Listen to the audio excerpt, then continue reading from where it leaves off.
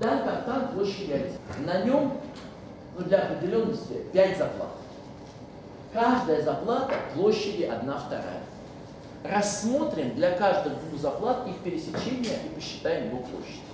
Найдите наименьшую возможную величину наибольшей из этих площадей. Надо сделать реально две вещи. Во-первых, нужно нарисовать картинку, когда эти самые попарные пересечения маленькие. Во-вторых, нужно доказать, что там меньше определенной э, эта величина быть не может. Ребят, идея такая. Давайте я попытаюсь придумать симметричную стену. Вот здесь очень важно. Я не буду сейчас э, представлять себе любые пять множеств, это тяжело. Я сделаю так. Напишу, что есть э, такие штуки.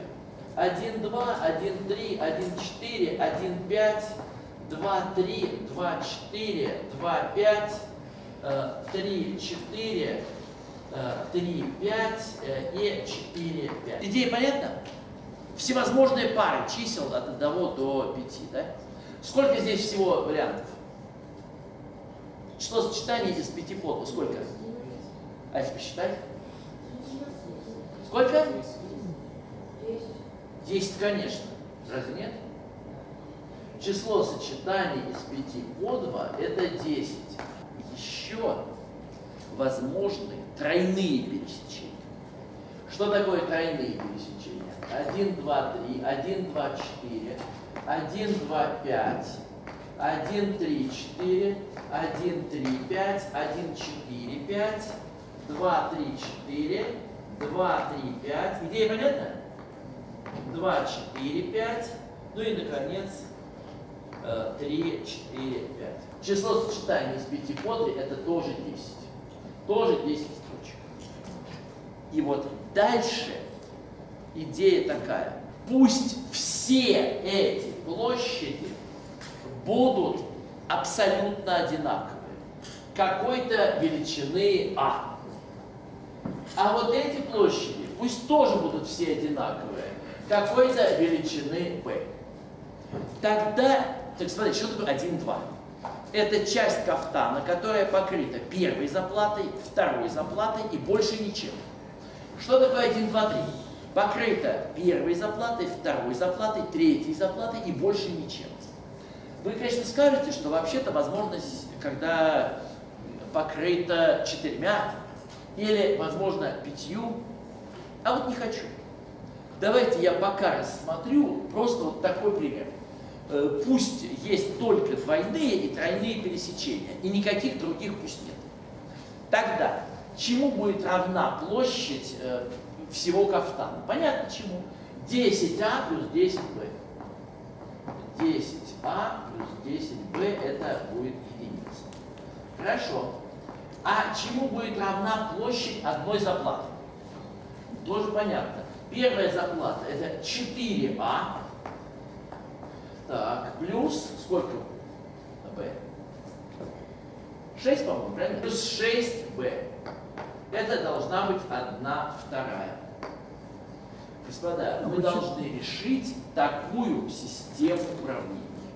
А первое почему 10а плюс b? Потому что весь кафтан площади 1. Еще раз, я говорю, пусть у меня не будет непокрытой площади, потому что понятно, что это невыгодно. Если мы распределяем, то выгодно, чтобы весь кафтан был покрыт. И пусть у меня не будет ничего покрытого в один слой. И в 4 слоя не будет, и в 5 слоев не будет. А будут только покрытые в 2 слоя и в 3 слоя. В 2 слоя это 10 кусков по А, в 3 слоя это 10 кусков по Б. Всего весь кафтан единица. Понятно? Ну, первая формула непонятна. Так-то понятно, а вот Как? почему... Это формула непонятна? Да, да, первая. 10 кусков. Каждой площади А. Да, а да. это не общая площадь, это площадь каждого кусочка. И здесь то же самое, 10 кусков, каждой площади Б. Да понятно, честно. Вот, все понятно. Э, Теперь как решить систему? Ну, легко. Э, э, Например, можно взять, умножить на э, 2 первое уравнение, умножить на 5 второе, что получится? э, получится 20а э, плюс 20b равняется 2. 20а плюс 30b равняется... Чему равняется? 5 вторым, потому что мы на 5 умножим. Если мы из нижнего уравнения вычтем верхнее, то получится 10b, э, это 1 вторая. Все понятно? b это 1 двадцатая. Подставляем сюда 10 двадцатых это 1 вторая, переносим э, а тоже Замечательно. Теперь вопрос, а какова будет площадь пересечения первой и второй заплаты? Очень просто. Площадь пересечения первой и второй заплаты это вот это А э, плюс э, вот это 3b. А плюс 3b э, это 4 двадцатых, это 1 пятая. Ребята, если наша конструкция является оптимальной, то ответ в задаче это 1 пятая. Скажем так, мы придумали, как расположить 5 заплат, чтобы каждые две пересекались бы по кусочку площади на пятое. Согласны? Каждая заплата состоит из 10 кусков, каждый кусок 1 э, двадцатая. То есть заплата площади 1 вторая. Пересечение двух заплат это 1 пятая. Что это? Надо еще пример, наверное, привести, потому что они могут быть пример. разорваны, нет, нет как бы доказательств, что это будет нет, одним цельным кусочек. именно о заплате. Заплата – это философская штука. Она бывает рваная. Нет, никто не обещал вам, э, что это поедет на конкурс красоты. Нет, нет, нет. Что она, а вдруг она не э, цельная, вдруг она из двух кусочков. Нет, такой кафтан на подиум не пойдет. Речь идет о, так сказать, теоретико-множественной задаче. Я не собираюсь вам рисовать, mm-hmm. понятно, да, э, как они там располагаются, потому что в задаче речь совсем о другом. Э, в задаче заплаты, они могут быть любой формы, поэтому ну, мне совершенно неинтересно э, все это рисовать. Не, ну я имею в виду, вдруг они не могут быть могут, цельные. Могут, э, потому что ну, то есть я посчитал площадь, да, она должна быть такой, но вдруг они при этом не цельные. Вы можете сделать тоненькие-тоненькие, маленькие-маленькие такие же соединительные ручейки, которые будут э, создавать, э, обеспечивать вам эту самую цельность. Еще задача не о Задача совсем не о том. Просто э, хотите, э, можете думать не о кафтане, а у вас есть, я не знаю, там, э, группа студентов, э, в которой э, половина, ну, я не знаю, там, знает математику, половина знает, э, не знаю, там, греческий язык, половина знает там еще что-нибудь. Ну, э, в таких терминах, может быть, это лучше переформулировать, чем про кафтан. Неважно, ребята, неважно. Э, про кафтан это сказано только потому, что есть русская пословица, э, помните, Тришкин кафтан, что в одном месте отрезают, а в добавляют. Да? Вот, ну вот, давайте, давайте так. так. Все понятно пока? Все понятно. Отлично. Будьте добры доказать, что меньше, чем одна пятая не бывает. Мы придумали пример, а сейчас нужно, что на самом деле, подсказка, э, введите обозначения, как ни странно, как только вы их введете, сразу станет легко. Введите такие обозначения. Площадь, покрытая один раз, площадь, покрытая два раза, покрытая три раза, ну, соответственно, четыре раза, понятно, да? И пять раз. И попытайтесь условия задачи записать э, через эти величины. Давайте я напишу э, строго. Значит, итак, э, у нас есть величина А. Это часть кафтана, часть кафтана, покрытая, э, покрытая, ну, в сколько раз? Э, один раз или больше. Б. Это площадь кафтана, покрытая в два слоя или больше. С. покрытая в три слоя или больше. D, покрытая в четыре слоя или больше. Е, покрытая в пять слоев больше. Идея понятна? Понимаете ли вы, что хорошо бы э, суметь через э, эти буквы, э, что называется, что-нибудь написать?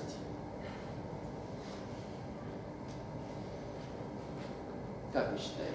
Например, понятно ли вам, э, что сумма попарных пересечений сумма попарных пересечений может быть выражена через эти самые величины А, Б, С, Д, Е. Некоторые места в три заплаты входят, которые покрыты сколько раз? Три. А сколько мы раз его посчитали, когда считали величину b? То, что покрыто в два слоя. Один, да? Один. Значит, еще надо что прибавить? 2c еще надо прибавить, правда? Да или нет? Уже перестать понимать?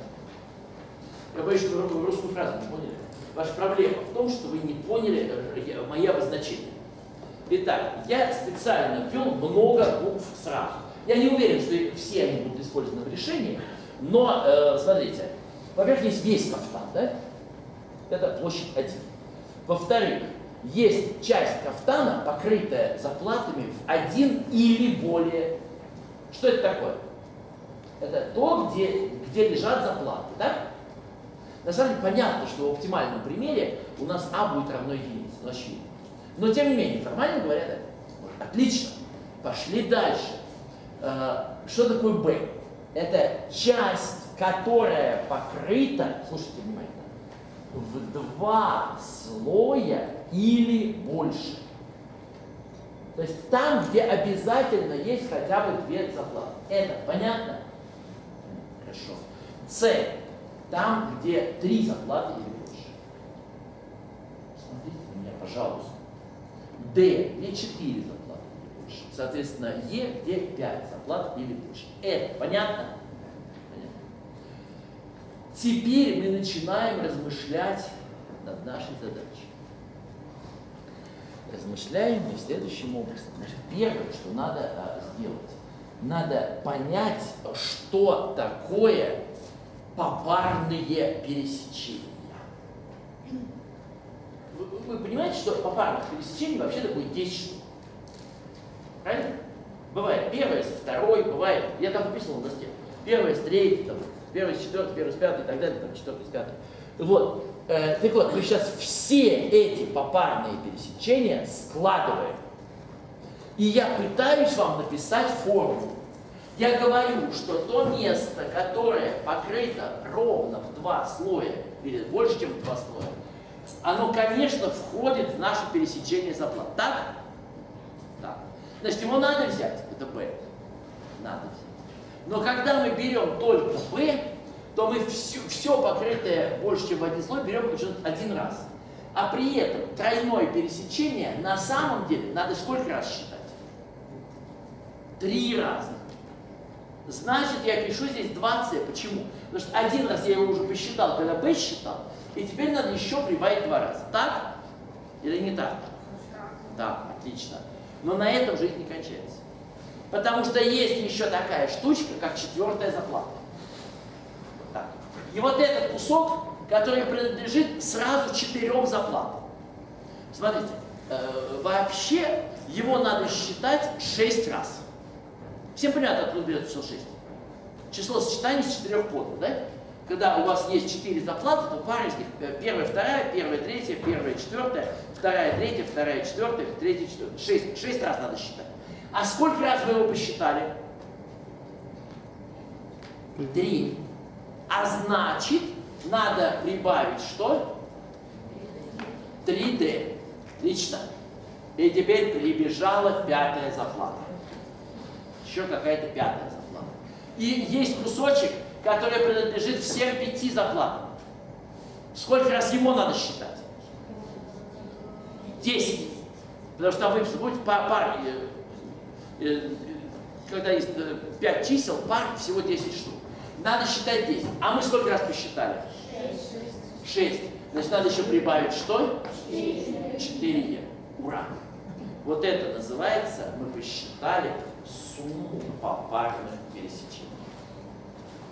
Теперь э, нужно как-то использовать условия задачи. Давайте подумаем, э, что в условиях задачи мы знаем. Ну, мы знаем, что весь кафтан площади 1. Э, как это записать? Ну, понятно, как это записать.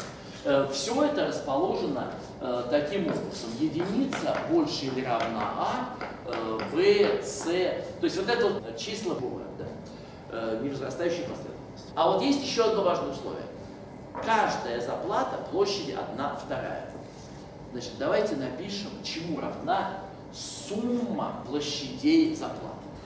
Во-первых, их 5 штук, поэтому это 5 вторых. Теперь вот самое интересное. Когда есть сумма площадей всех заплат, можем мы это каким-то образом выразить через наши числа А, В, С, Д, Е. Кто-нибудь знает эту формулу или нет? Называется формула включения и исключения. Она на самом деле тоже несложная. Ее э, совершенно не обязательно запоминать наизусть хотя достаточно скоро вы ее запомните. Вот, она бывает в разных вариантах. Смотрите, мы складываем площади. Понятно вам, что реально нужно начать с того, что когда мы складываем площади заплат, то, конечно, А нужно взять, правда? Да. Все, отлично, отлично. Это обязательно надо написать э, э, число А. Молодцы. Э, дальше, дальше интереснее. Э, когда у нас заплаты, вот некоторые места покрыты в два слоя, э, то сколько, то как это надо считать и как это мы посчитали. Есть площадь, где первая, вторая заплата лежат, и больше там ничего нет. Сколько раз мы эту площадь посчитали? Должны были посчитать два раза. А сколько раз мы ее посчитали? Вообще посчитали один, правда? Покрытие в один слой. Замечательно. Значит, надо еще что прибавить? Б надо прибавить. Б – это часть, которая покрыта, разве нет? В два слоя. Надо не забыть прибавить. Хорошо.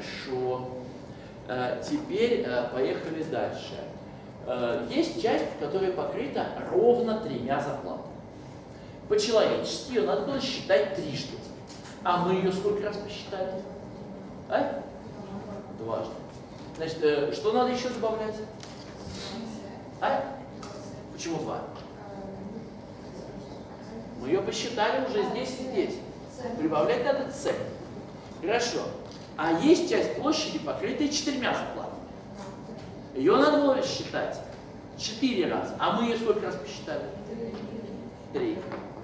Ну и, наконец, догадайтесь, что будет Е? Отлично. Вот, господа, смотрите, что я хочу сейчас доказать.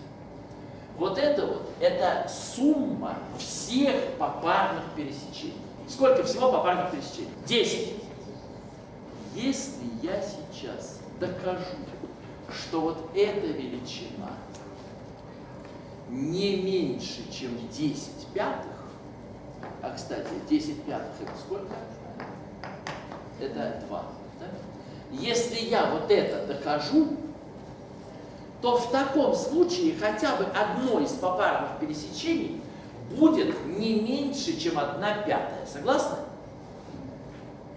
Если сумма 10 слагаемых не меньше, чем 2, то хотя бы одно из них не меньше, чем 1 пятая. Значит, если вы мне сумеете объяснить, по какой такой интересной причине b плюс 2c плюс 3d плюс 4e не меньше, чем 2, если а, Б, С, Д и Е – это 5 вторых. И если при этом э, единица э, больше или равна А, больше равна Б, больше равна С, больше равна Е, то в таком случае задача будет решена. Ну, если не сможете, ну, значит не сможете. Э, это тоже, к сожалению, вполне возможный грустный вариант, что мы э, начали решать задачу с того конца. Такое тоже возможно.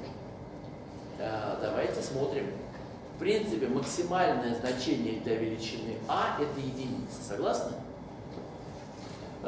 Поэтому это вот сумма, сумма чисел b, c, d и e – Э, это не меньше, чем 3 э, вторых. У нас получается, что вот эта штука не меньше, чем 3 вторых.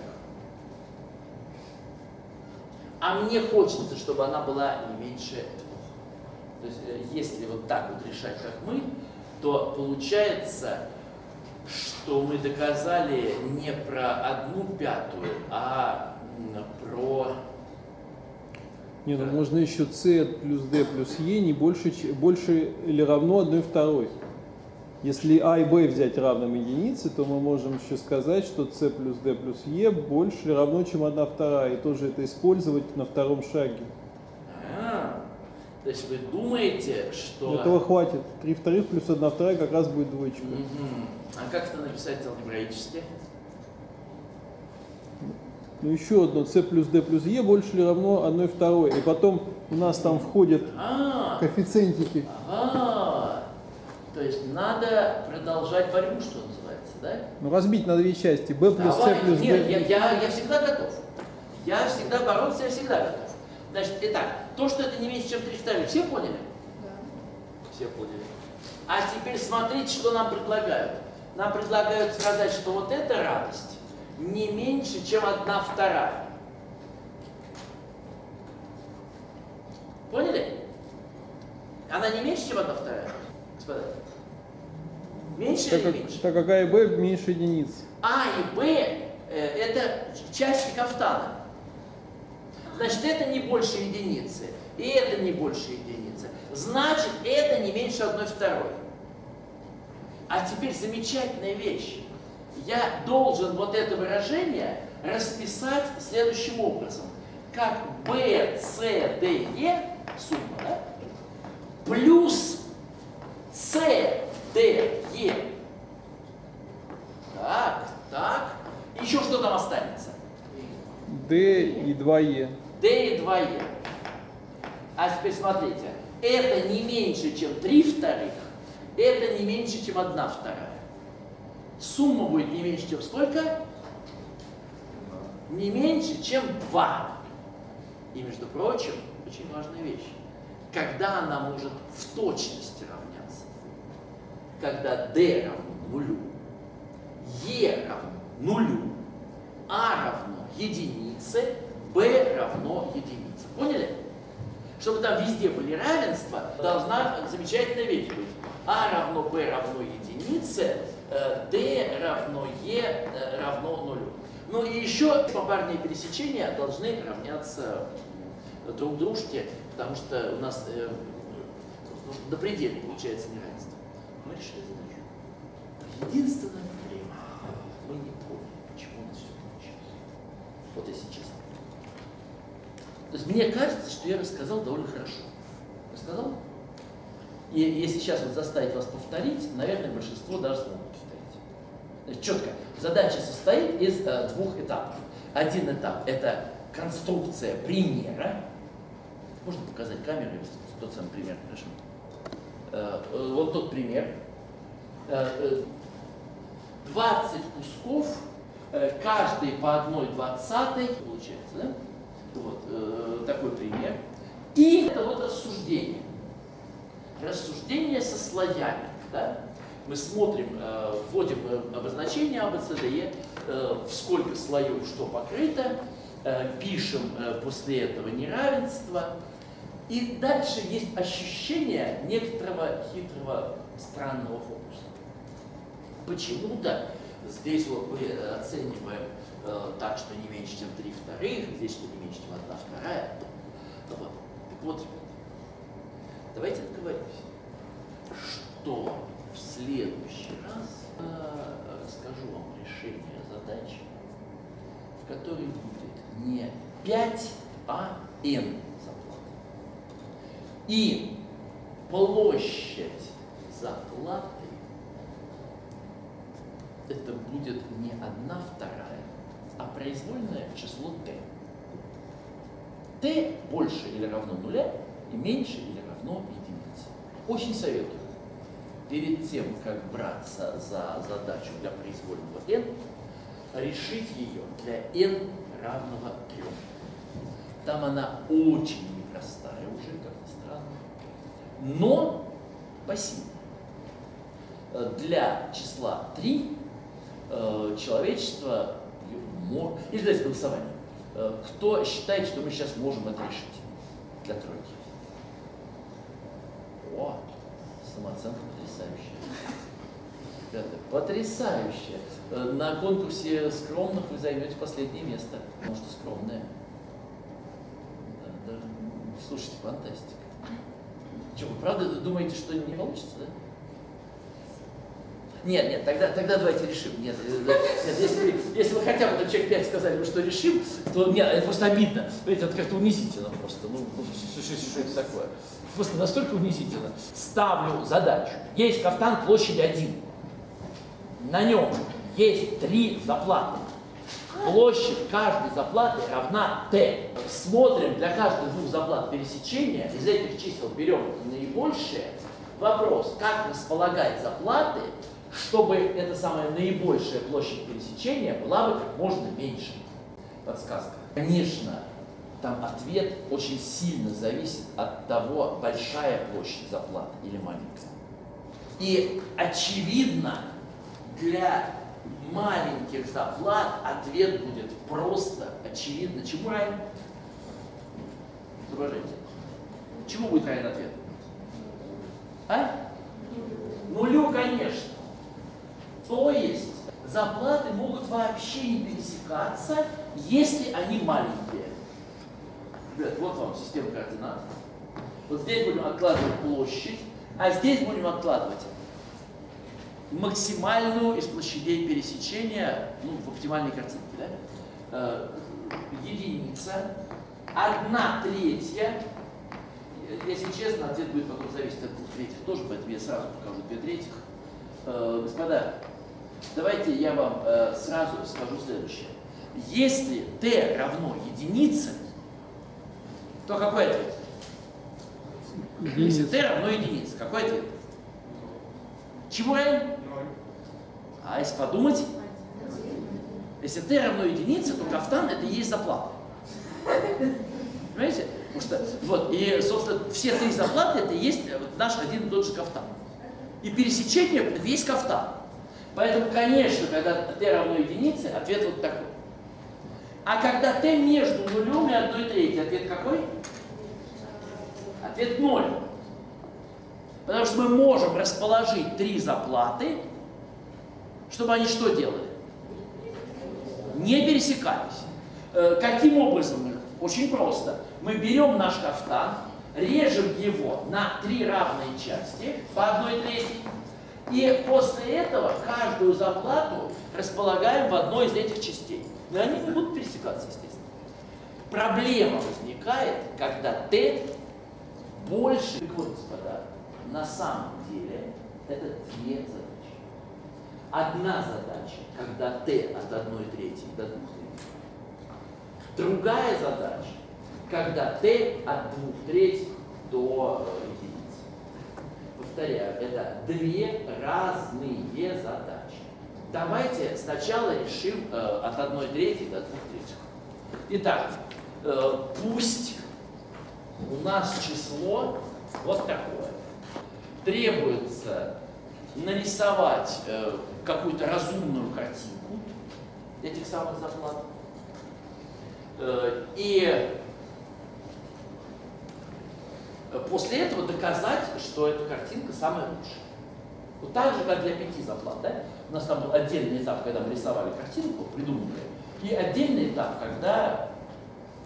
По формулам, которые мы до этого использовали, нарисовать для сразу для любого... Все Понимаете, э, еще раз, у этой задачи есть решение для произвольного числа заплат, понятно, да? Вот. Э, проблема э, в том, что такое мы. Нет, я сейчас могу рассказать решение общей задачи.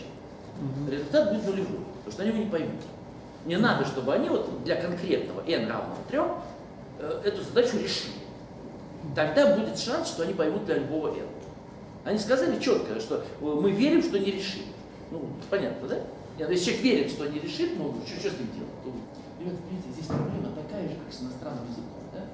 Вот вы э, приезжаете, я не знаю, там, э, э, куда- куда-нибудь там в Париж, да, и вдруг обнаруживаете, что там даже самый-самый-самый, э, простите, тупой э, маленький парижанин весело и бодро говорит по-французски. Не обидно? Мы здесь мучаемся, мы такие, значит, э, это самое, э, учим французский, знаем его плохо. А я вообще не знаю. А? Замечательно. Понимаете, вот, вот, вот должно быть вот некоторое ощущение, вот вы правильно сказали, зато они русского не знают, да. Должно быть ощущение, что если я хочу чего-то знать, то, то узнаю. Э, был такой великий математик Давид Гильберт. В какой-то момент его попросили на переломе 19-20 веков э, прочитать лекцию о математических проблемах. Ну, он прочитал лекцию совершенно замечательную, хорошую. И закончил он ее, ну, разумеется, по-немецки, но э, фраза, которая по-русски переводится так. Мы хотим знать. Значит, мы будем знать. Понятно, да? Оптимистическая фраза. Что если мы хотим что-то узнать, то мы это узнаем. Ну, на самом деле, конечно, не вполне так. Конечно, есть какие-то научные проблемы, которые мы, в общем-то, и хотим знать, а все еще не знаем, и так далее, и так далее. Но во многом Гильберт прав. Э, Если э, э, посмотреть, что там за эти э, с- 120 лет, прошедших с момента, как он сказал, произошло, то по большому счету и так и было. Никаких компьютеров в его времена не было, а сейчас есть. Очень-очень много добились. Разумно расположить три заплаты площадь которых больше или равна, чем одна треть, но все-таки не больше, чем две трети. Такая же задача, как про пять заплат, э, только легче. Давайте мы попытаемся написать так же, как для пяти заплат. Э, И даже обозначение менять не будем. А – это площадь, покрытая в один слой. Хорошо? Б в два слоя, С в три слоя, ну, а вот, впрочем, для трех заплат в 4 и 5 уже ничего не будет, правильно? Отлично. Тогда как писать вот эту вещь? Сумма попарных пересечений. Что это будет такое? Для трех заплат. Что это будет такое? B плюс 2C, совершенно верно, потому что просто не будет вот этих вот D и E, да? Итак, сумма попарных пересечений, это будет совсем просто. B плюс 2C. Отлично. А вот это, вот то, что 5 вторых равно, как запишется? Будет не 5 вторых, а сколько? 3 вторых. Замечательно. И чему это будет равно? А? АБЦ? И все. Да? Просто D и E не будет. А плюс B плюс С. Отлично. А теперь, господа, смотрите, в чем э, ошибка. А почему три вторых? 3Т, наверное. Вот. Слышите? 5 вторых это было, потому что в той задаче площадь э, была одна вторая у каждой заплаты. А у нас-то площадь Т, значит здесь будет что? 3Т. Все, вот это понятно. Ну и естественно, единица э, больше или равна, чем А, больше или равно Б, да, э, больше или равно э, С. Замечательно. Теперь, чего мы с вами на самом деле хотим? Мы хотим оценить этих попарных пересечений для трех зарплат будет всего три штуки. Да? Поэтому мы с вами хотим оценить вот эту величину, деленную на 3. Мы хотим доказать, что это больше или равно э, там, чего-то там. Ну, господа, давайте приглядимся и поймем, что все просто. Смотрите, А у нас не больше единицы. Согласны? Значит, b плюс c не меньше чего?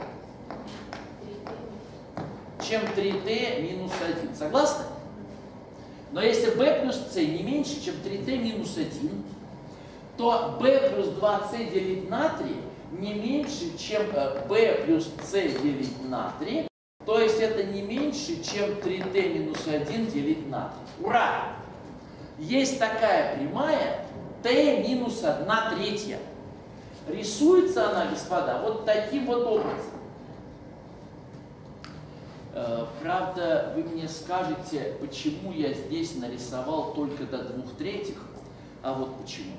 Если t взять две третьих, э, то здесь уже будет единица.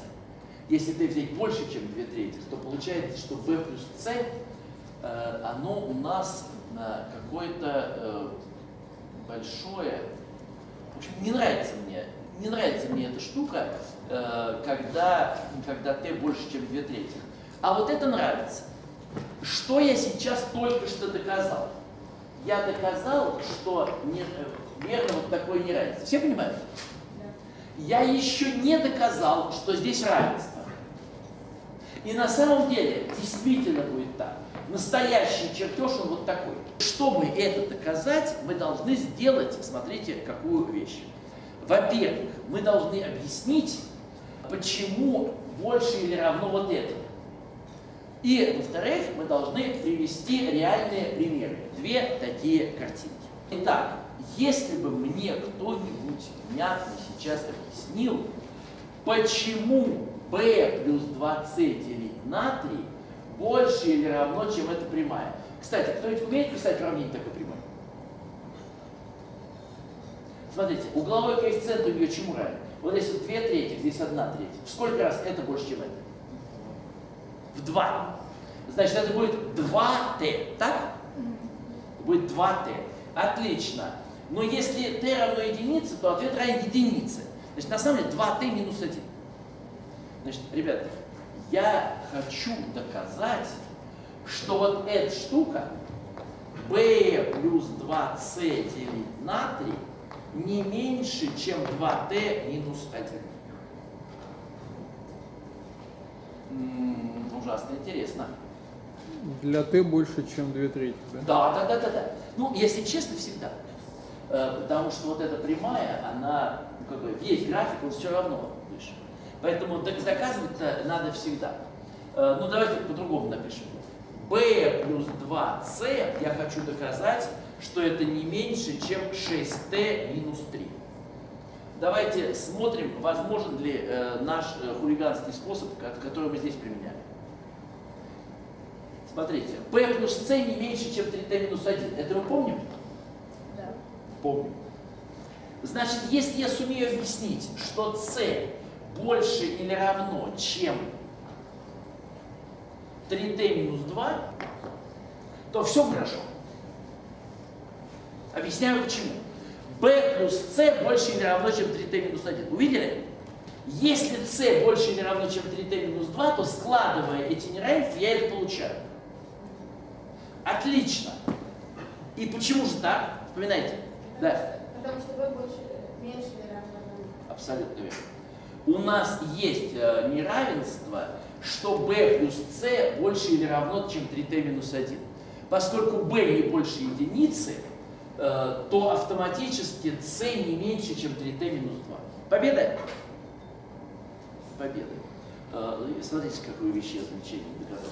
Что график Э, не ниже, чем вот эта прямая 2t минус 1. Осталась мелочь. Правда мелочь. Нарис... Придумать пример. Какое-то реальное распределение вот этих кусков площади. Когда будет так. И придумать пример, когда будет так. Отлично. Господа. И я вас этому в начале сегодняшнего занятия уже учил. Правда, на примере э, пяти заплат. Вспомните, пожалуйста, как вы там придумывали пример. Что? Не слышу. Правильно. Так сделайте это. Что нет? Еще сказать. Вот если я сейчас просто напишу, то в результате вы это забудете. Если сейчас вы попытаетесь сами, все будет хорошо. Вспомните, пожалуйста, сказку Иван Царевич и Серый Волк. Да? как там, э, Иван Царевич все пытается делать, на самом деле ничего не делает, у него ничего не получается. Но Волк за него это делает, объясняет, и в результате все хорошо, правда? Вот вы сейчас сделаете, попытаетесь сами. Еще раз, у вас реально две разные задачи. Одна, когда t от 1 трети до 2 третьих, другая, когда t от 2 третьих до единицы. Конструкции будут разные, но вполне себе понятны. Разобрал на доске задачу для пяти. Э, Вам сейчас даю задачу для трех. То есть она реально легче, чем то, что было.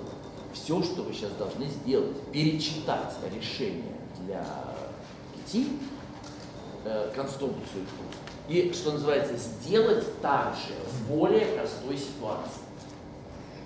В ситуации, когда всего лишь три заплаты. Причем читать надо самое-самое начало сегодняшнего занятия, когда у нас там выписывали пример. Слов не так много разных, ребята. Вы придумали конструкцию. Надо просто реально расположить заплату. Чтобы сказать, что такая-то будет с такой-то пересекаться по такому-то куску, с такой-то по такому. Подсказка. Когда t не больше, чем 2 третьих, разумно на картинке, э, смотрите, когда мы получали неравенство про t минус 1 треть, э, то мы забывали про c. А что значит забыть про c? Это значит, что в оптимальном примере c должно равняться нулю. Значит, вы уже а, из этой строчки имеете подсказку. Тройное пересечение должно равняться. А дальше все просто. Э, для того, чтобы у нас опять было равенство, все двойные пересечения должны быть одинаковые. Значит, из чего состоит картинка? Нет. Некоторые части покрыты в один слой, некоторые части покрыты в два слоя. Рассматриваем ситуацию, когда вот t от 1 трети до 2 третьих. Хорошо? Быстрее пишите. Значит, есть куски, покрытые, ну там на чистой доске, э, есть куски, покрытые только заплатой номер один, только заплатой номер два, нет. Смотрите, только заплатой номер один, просто число один. Да, есть кусок, покрытый заплатой только номер два. Под единицей пишите два. Э, и есть кусок, который покрыт заплатой только номер три. Пишите три. Вот. Это есть такая штука. А еще, а еще бывает 1, 2, 1, 3, но не здесь, здесь места не будет, прям под этим, влезть. 1, 2, 1, 3 и 2, 3. Э, еще раз, в нашем оптимальном примере c равно нулю, поэтому не стоит, да? И вот, отлично. А теперь очень простая вещь. Обозначьте площади, покрытые только заплатой номер 1, или только 2, или только 3, какой-нибудь буквой. Буква А. А, А, А. Да. да. Замечательно. А там, э, соответственно, Б. Нет, не здесь. А вот здесь, да. Вот эти три. Э, поняли идею? Есть три куска каждой площади А, есть три куска каждой площади Б. И теперь надо написать очень простую вещь. Во-первых, площадь всего кафтана. Это сколько? Один, верно. Но через А и Б. Через А и Б написать площадь кафтана. 3А плюс 3Б, конечно, пишем. 3А плюс 3Б. Отлично. А площадь, например, первой заплаты, это Т. Т равно чему? А плюс 2b, абсолютно верно. Эту систему надо решить. Для этого надо нижнее уравнение умножить на 3. Не надо здесь ничего писать. Надо просто, ребята, вот эта вот попытка в алгебре сэкономить себе секундочку всегда приводит к ошибкам. Вот у вас есть строчка, не надо поверх нее, рядом с ней, под ней. Надо просто заново писать новую строчку. Так, 2 минус 3t, да, равно 3а. Отлично. а равняется 2 третьих минус t. Разумное решение системы уравнений. а равняется 2 третьих минус э, t. Отлично. Что теперь надо сделать? А? Сюда. Сюда подставить, конечно. Надо b найти.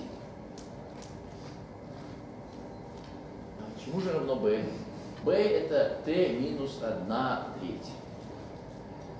Да, а между прочим, b это и есть то самое пересечение двух заплат. Та самая t минус 1 треть. Согласны? Да. t минус 1 треть. Спасибо, вы сделали работу. Так, господа, увидели, что он сделал? Но он сделал половину только. Он построил один пример. А вот эти граничные условия, как мы догадываемся, что c равно нулю в том случае и c не равно нулю дальше?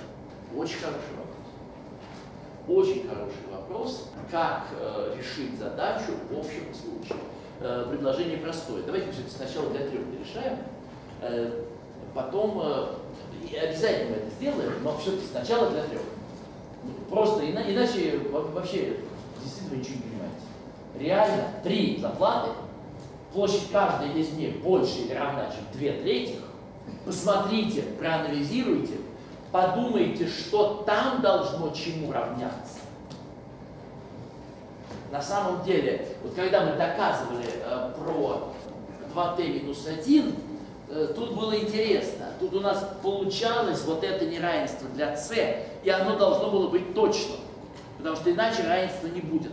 Значит, на самом деле пересечение всех трех вы уже знаете. Если вы вспомните, что вас просят доказать, и что уже пересечение тройное вы знаете, то вообще-то можете прямо сразу рисовать картину. Как выглядит диаграмма Эйлера? Тройное пересечение. А, вы не понимаете. Подойдите вон туда. С, вот, нет, еще правее. Вот, отлично. Внизу, да. С больше или равно. А, Смотрите, если оно будет больше, то... Нет, нет, нет, стоп. С это что? Вспоминайте. это Тройное пересечение. Тройное пересечение. Давайте. Тройное, где на картинке? Тройное пересечение надо написать. Можно? В серединку. Площадь тройного пересечения. Вы его правильно показывали. Туда сейчас надо написать 3D минус 2. Это вот пересечение. Пошли проявлять интеллект дальше. Значит, э, смотрите, какой должен быть у нас ответ? Помните? А. Пересечение должно быть 2t минус 1. Да. Значит, Значит, сколько надо написать вот сюда, чтобы сумма была бы равна 2t минус 1? а, тройное Еще раз, величина, когда ее сложишь с числом 3t минус 2, даст 2t минус 1. Народ, подсказывайте. 1 минус t. Один минус Т. 1 минус t, абсолютно верно. Пишем 1 минус t. Вот, один минус Т. Для симметрии в других этих. э, да, да, да. Да. Отлично. Супер. А вот теперь последние секунды подвига. Вы должны сделать, чтобы вся площадь равнялась t. Вот смотрите, 1 минус t, 1 минус t, э, 3t минус 2 и еще что-то должно дать t.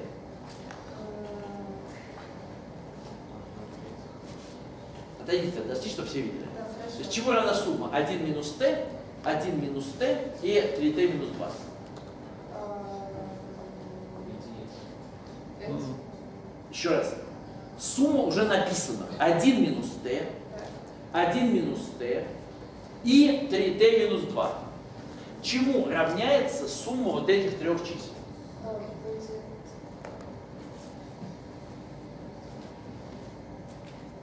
Сумма равна t, отлично. Что писать на большие места? Нет. Сумма трех кусочков t, а вот оставшегося пустого пространства, если полный кружочек, тоже t. Да, t минус t это сколько? Ноль. Пишите, ноль, ноль, ноль. Ура, спасибо, победа. Давайте. T, одна пятая, э, две пятые. Я надеюсь, мы сейчас успеем все-таки. Э, э, Ничего другого мы, к сожалению, точно не успеем, но, но это, надеюсь, успеем. э, 4 пятых, э, 5 пятых. Так, господа, э, э, понятно, что я сделал? Дальше. Смотрите, что я рисую. Я рисую здесь опять 0. Согласны ли вы на это? 0 или не 0? 0. Значит, одну пятую часть задачи мы решили. Я опять знаю, что здесь единица. И вот сейчас, господа, надо аккуратно выписать э, то, что мы с вами, э, что э, уже знаем. На- Напоминаю, сумма попарных пересечений. Мы это сегодня выписывали. Сумма попарных пересечений это сколько у нас? Там была формула написана. B плюс 2. Было такое или нет? Э, плюс э, 3d плюс 4e. Вот Она была сумма 10 попарных пересечений. Поэтому на самом деле нас, конечно, интересует ее десятая часть. Да? Ну хорошо, на 10 поделить легко. Э, Теперь, теперь, теперь, э, сумма площадей э, всех, это сколько? Там у нас тоже было выписано. Э, А плюс Б плюс С плюс Д плюс Е это 5Т. Согласны? Согласны. Ребята, а вот сейчас будет несколько, внимание, разных неравенств. Рассказываю, как мы их будем получать. Один из способов э, получать э, такой. Мы скажем, что А не больше единицы. Это тоже все помнят. Э, А, Б, С, Д э, это э, Е это невозрастающая последовательность, да, не больше единицы. Сумма B, C, D и E, она не меньше чего? Она не меньше чего? Она не меньше, чем 5t минус 1, правильно? Значит, все это выражение не меньше, чем 5t минус 1, так? И значит, 1 десятая от него Э, давайте э, искомую величину обозначим по этой оси, будем откладывать те самые э, попарные пересечения. y не меньше, чем 5t минус 1 делить на 10. Это понятно? Понятно, отлично. Так давайте я график этой функции сейчас нарисую. Э, Каким способом вообще всегда рисуют график функции? Э, Надо подставить, э, ну скажем, скажем, в качестве t одну пятую, тогда у нас будет 0. Согласны? Э, В качестве t подставляем 2 пятых, тогда ответ будет сколько? 1 десятая, правильно? Замечательно. Так, ребят, э, мне немножко, конечно, на доске неудобно, но, тем не менее, я думаю, что я все-таки в основном справлюсь. Э, Вот она штука. Значит, когда 2 пятых, то ответ будет 1 десятая. Э, Ну, в каком смысле ответ будет 1 десятая? То есть весь наш ответ лежит не ниже, чем эта прямая, правильно? Так, давайте еще. Качестве t подставляешь единицу, будет 4 десятых. А 4 десятых это сколько? Это 2 пятых, правильно? Э, то есть я провожу вот такую прямую и говорю, что вся картинка больше или равна. Так? Так, все, отлично. Э, это одна часть работы. Теперь вы уже, наверное, понимаете, э, какая еще часть работы. Я говорю, что c плюс d плюс e больше или равно чего? 5t минус 2. Согласны? А значит, вот это выражение не меньше, чем сумма вот этих двух. Значит, y не то, что не меньше этого, y не меньше, чем сумма 5t минус 1 и 5t минус 2. То есть 10t минус 3 э, делить на э, 10, потому что попарных пересечений 10 штук. Теперь нужно рисовать этот график. Если вы в качестве t подставляете 2 пятых, то у вас будет как раз та самая 1 десятая. Ребята, эти прямые замечательным образом согласованы. Если вы в качестве t подставляете единицу, то будет 7 десятых. Ну, лучше 3 пятых подставлять, потому что точку для следующего... Вот, давайте 3 пятых. Еще, спасибо. 3 пятых подставляем. Тогда будет э, 3 десятых, правильно? Да. Э, 3 десятых это вот здесь. О, хорошо. Хорошо пошла. Так, э, нет, я все, равно хочу здесь, где, где у меня 7 десятых, понять. Э, вот это у нас э, пол, ровно половина, да? Это 5 десятых. Э, по-моему, вот здесь 7 десятых. Да, да. Э, 7 десятых вот здесь. В общем, народ, э, если э, ровно рисовать аккуратно, то прямая пройдет вот так. Понимаете вы, что дальше я сделаю? Я скажу, что сумма, значит, CDE я уже оценил, сумма DE не меньше чего? 5t минус 3. Конечно, 5t минус 3. А значит, y больше или равно чем? 5t минус 1, 5t минус 2 и 5t минус 3. Это 15t минус 6 делить на 10. Э, 15t минус 6 делить на 10. Отлично. Подставляем наши любимые э, 3 пятых. Получается те самые 3 десятых. Отлично. Подставляем единицу. Э, Получаем э, 9 десятых. Правильно? Проверяйте. Да. Э, 9 Да. десятых. 9 десятых это вот здесь. Так, ребята, мне тяжело на самом деле рисовать, но смысл вот такой, да? Э, так, замечательно. Я уже дошел до, э, на самом деле, так, 4 пятых, когда представили, что будет?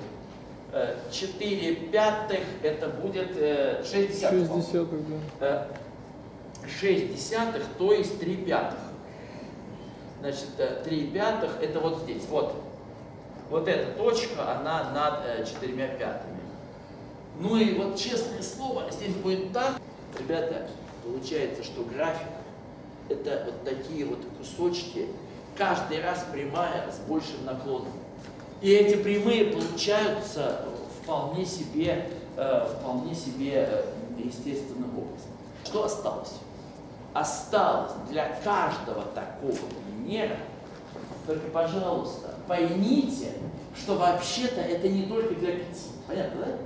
И для любого n ровно такая же ситуация. Э, так вот, осталось для э, каждого n э, на каждом соответствующем кусочке привести пример. То есть такую систему заплат, для которой вот ровно так. Интересно, сможем? Или опять скажете, что, что человечество не умеет? А? Что? Для, для каких? Для каких? Э, ну, это реально пять задач. Одна из них совершенно очевидная. Вот здесь вот все просто. Правда? Да. Заплаты вообще не пересекаются и все. Э, давайте, наверное, не успеем все, но хотя бы этот кусочек. Скажите мне, пожалуйста. Что здесь будут за заплаты? Ну, только попарное пересечение будут, и все. Вот, вот, вот. Давайте. Здесь будет часть площади покрыта в один слой, а часть покрыта в два слоя. Понятно? Но осталось сказать четко, у каждой заплаты сколько чего, и все получится. На следующем- здесь легко выписать. Я, я могу напомнить формулу. Э, формула была такая, эм, вот она была, э, 5t минус 1 делить на 10. Это и есть попарное пересечение, разве нет? Ну, когда все остальное ноль равно, да? Значит, еще раз, у нас есть заплата. Э, она состоит из, заплаты номер один, из пересечений со второй, третьей, четвертой и пятой заплатой. Так? При этом каждая из этих пересечений по площади 5t минус 1 э, делить на 10. Так чему равна сумма этих четырех пересечений? Вот этому. А чему равна непокрытая э, пересечениями площадь? э, t минус это. Согласны?